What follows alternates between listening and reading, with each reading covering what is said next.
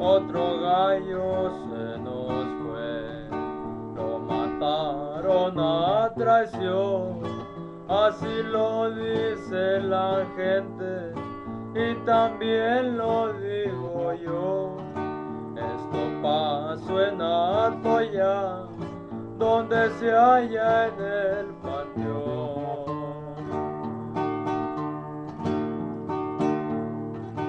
Recuerdan varias hazañas que tuvo allá por Cancún, donde era muy respetado por ser hombre de valor.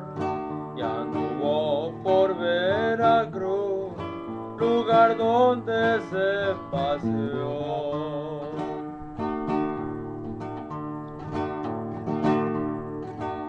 Cuando hacía un negocio, a todos les iba bien, a su familia y entera y amigos siempre ayudó. No anduvo con chingaderas, siempre un hombre de acción.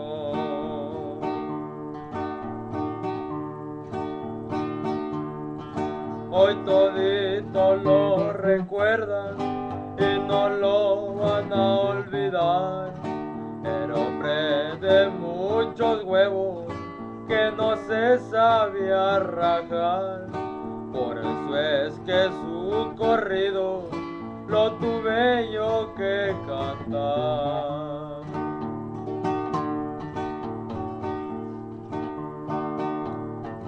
Donde quiera que se encuentre,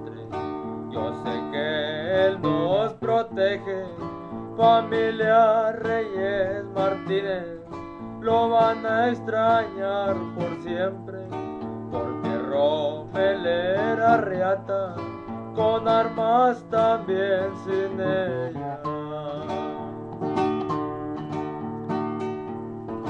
Solo decía en cada acción a su gente de confianza, no le tengan miedo a nada, ni presuman el valor que la muerte cuando llega se lleva hasta el más cabrón.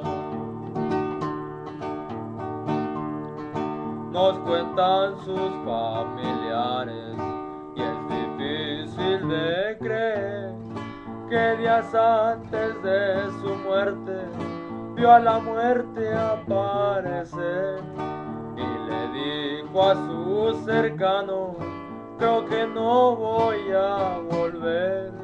La muerte me anda rondando, que haga lo que vaya a hacer. Costa Grande de Guerrero, que tiene gallos de acción,